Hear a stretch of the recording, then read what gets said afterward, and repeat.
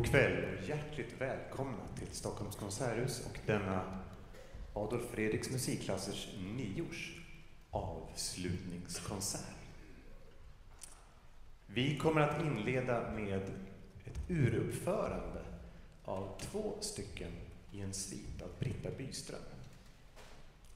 Eh, vill man applådera dessa får man gärna göra detta efter det andra stycket.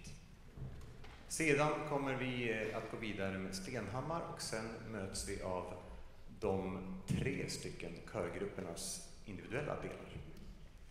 Efter pausen blir det Carmina Burana. Än en gång varmt välkomna, mycket nöje.